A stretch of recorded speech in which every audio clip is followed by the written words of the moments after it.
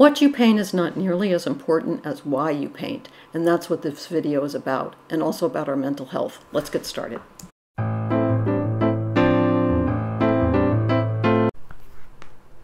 Jo Mackenzie here, your watercolor coach.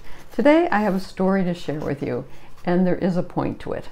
So if you watch this, it will be amazing to me.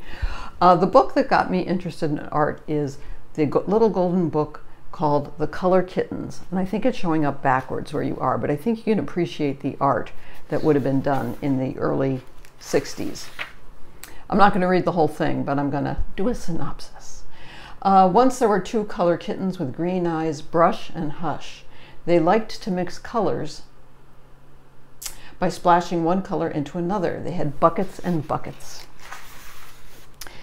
And buckets and buckets of color to splash around with out of these colors, they would make all the colors in the world. The buckets had the colors written on them, but of course the kittens couldn't read. They had to tell by the colors. It's very easy, said Brush. Red is red, blue is blue, said Hush. But they had no green. No green, so what were they going to do? Brush mixed red paint and white paint together. Did he get green? No, he got pink. Pink as a rose or a baby's nose.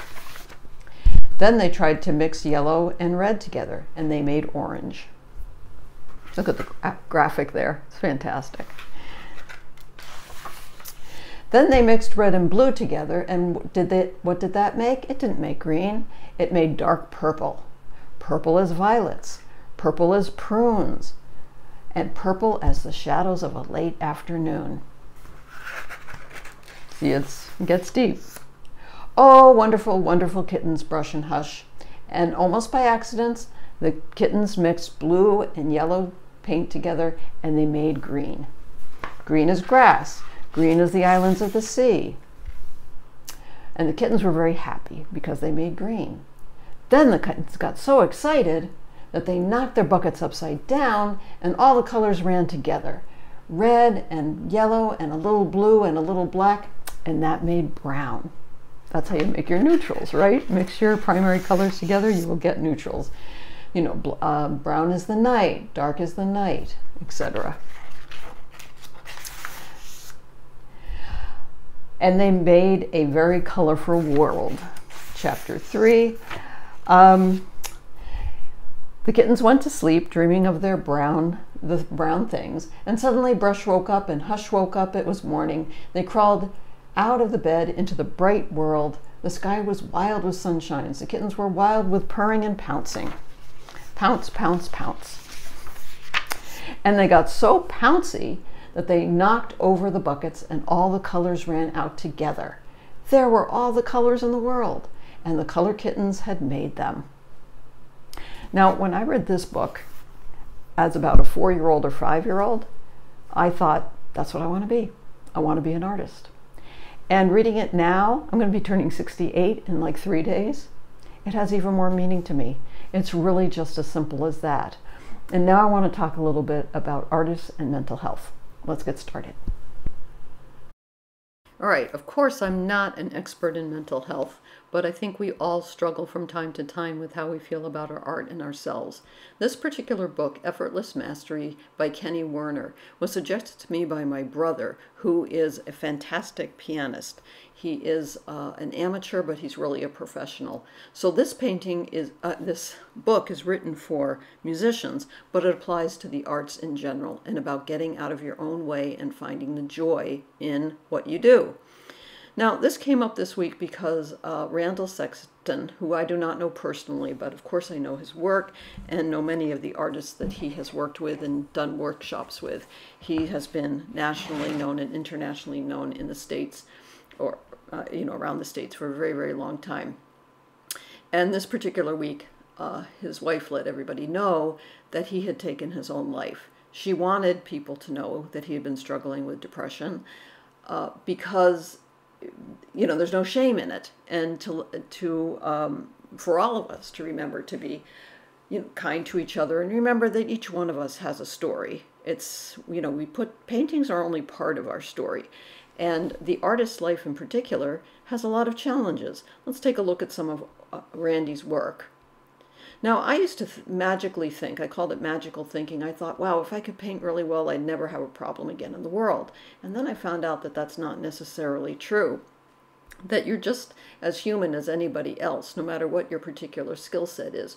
Your skill set can make you feel better for a little while, but you know, of course, it doesn't, if you paint well, it's not going to solve your uh, problems with relationships or or other things. The other thing that happens, of course, with artists is that you're working alone a lot of the time, alone and isolated for long periods of time. It's also, unfortunately, and we've talked about this in the past, there's a pretty competitive industry.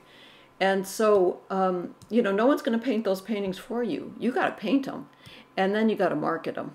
And that's a whole different set of skills. Now, by anyone's measure, Randy was an incredible success when it came to the arts, and I don't know what his issues were. And, you, you know, I'm, I'm not even sure that depression is issue related as much as it is chemical. You know, chemicals in your brain just not firing the way they need to and giving you that, that sense of well being.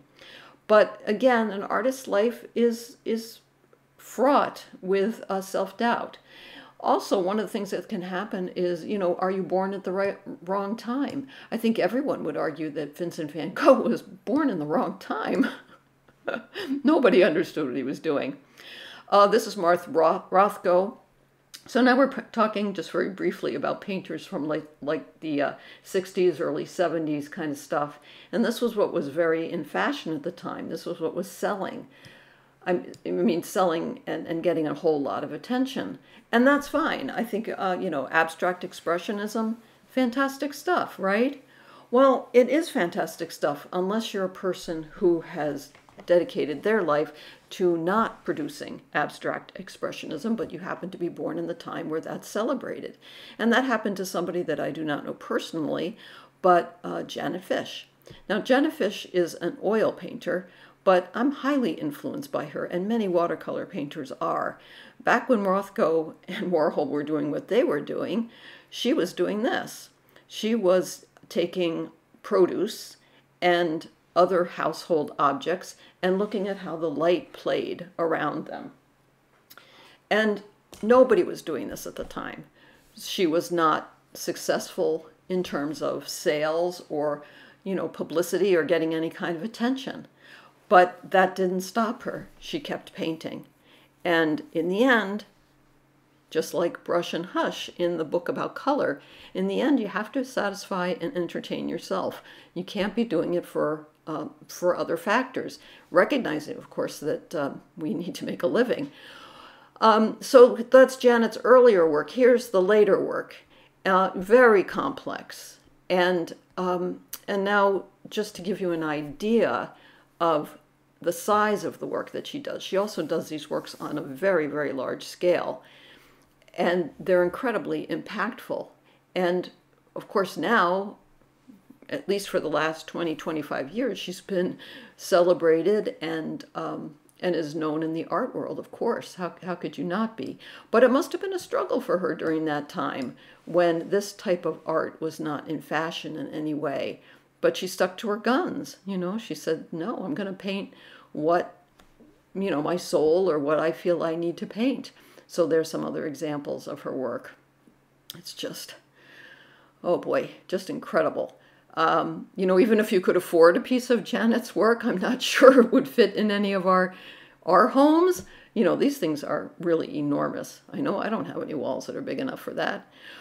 But anyway, um, so the point of this video is to play and find joy, like the Color Kittens did. And that's what I'm trying to do with my artwork at this point. If I'm not entertaining myself, then I'm really not interested in what I'm doing. And that's not coming from a self-centered place. It's coming from a place of wanting to enjoy these years of my life and not producing artwork for any other reason than for the joy of making it. And in the end, I think my paintings are getting better because I've let go of wondering what others will think of it. So remember to keep the whites of your paper white, your paints wet, mass for value, mix for color. I'll see you next time. Bye-bye.